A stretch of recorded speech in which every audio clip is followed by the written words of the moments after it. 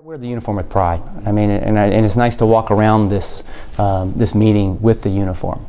Um, and so it's, it's something I take tremendous pride in.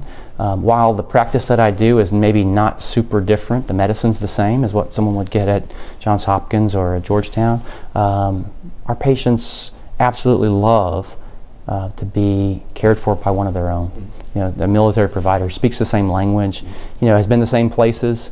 You know, our, our medical officers go the same places as our infantrymen. Um, and so I, I take tremendous pride with that, absolutely. I started at the Walter Reed Army Medical Center in Washington, D.C. as a, a, brand spanking new intern in 1999. And so I've done a couple deployments and some tours and things, but uh, I then moved in 2012 over to Walter Reed National Military Medical Center Bethesda. So between those two Walter Reeds, if you will, I've been there now for about 16 and a half, going on 17 years. For me, it has been the most professionally gratifying thing. Um, it, it most, the most professionally gratifying part of my career has been serving our veterans and their families. And as Walter Reed, we are one of the largest, if not the large, certainly the largest Department of Defense hospital in the world. And when you look back at our role during the conflicts in Iraq and Afghanistan, um, you know, we were one of the primary sites for evacuations, along with obviously the, the hospitals in San Diego and San, San Antonio. Being a part of that has been um, just a tremendous honor and a privilege to do that. Um, and to be, have deployed during the, both of those, uh, both Iraq and Afghanistan, to be able to, to go to the battlefield and care for those who have put their lives in harm, harm's way is something that I'll never ever forget. And it has been just, just a true honor. I would do it, I would do it again in a heartbeat. I, have loved every minute of it.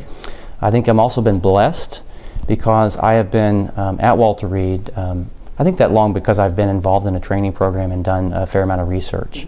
And so it really gives me a lot of gratif gratification to see the data that has evolved from our, our care of our beneficiaries. Um, and to be, uh, for example, as a program director, to be responsible for the training for Army and Navy cardiologists, and to see them go out and do great things, and go out to become uh, leaders in the military healthcare systems, to do the same things that I've done, has been a, a real, a real pleasure. I started there in 1999, and in fact, most of the staff there that I'd worked with had never been in combat. I mean, we were in the post-Vietnam and post-Gulf uh, uh, War era, um, and um, it was just something that a lot of us, we knew was a possibility, but uh, we really didn't anticipate what would happen. Um, and obviously that changed in, at 9-11, and I'll never forget, I was a, a third year resident, I was in training, I was in my internal re medicine residency, and from the, the top of Walter Reed, you can actually see all the way downtown. Um, and I'll never forget uh, seeing that big giant plume of smoke uh, coming up from the Pentagon as I was rounding on patients. And I had not even heard the news yet. Um, and I think that was certainly, that changed all of our lives. Um, and it's affects obviously the lives of all of our family members who have dealt with the deployments and, and things that have come from that. So you're right, that was a, a life-changing event. We've obviously significantly scaled back the current number of our service members who are deployed. Um, but I, and so the, number, fortunately, the number of casualties that we're receiving at Walter Reed and at our other sites is significantly lower. Um, but I, I always try to remind people that don't forget about the folks that are still there because we still have a number of cardiologists deployed. We still have a number of folks in harm's way.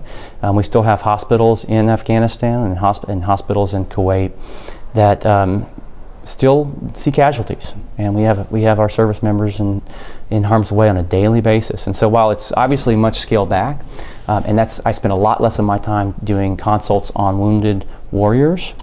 Um, we still, on a weekly basis, um, get folks that are coming back from the conflict, um, and um, and that's something that I always try to remind myself that we are a nation at war and this has kind of become the new normal. And so I don't think we've ever gone back to that pre 9 11 uh, you know, posture, if you will.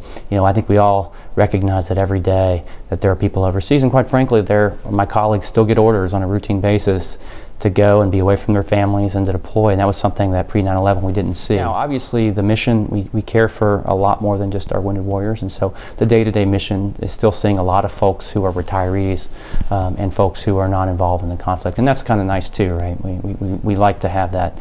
Um, you know, as, obviously, we like it when, when no one's coming back from war.